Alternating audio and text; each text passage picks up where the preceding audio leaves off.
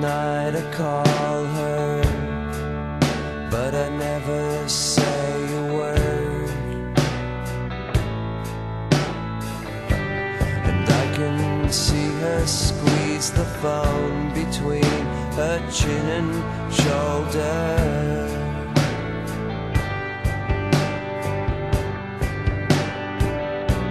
And I can almost smell her breath faint with a sweet scent of decay.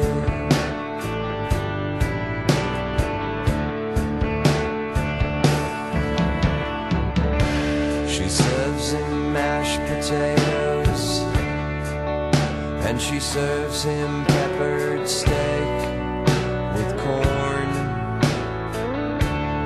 pulls the dress up over her head, lets it fall to the floor.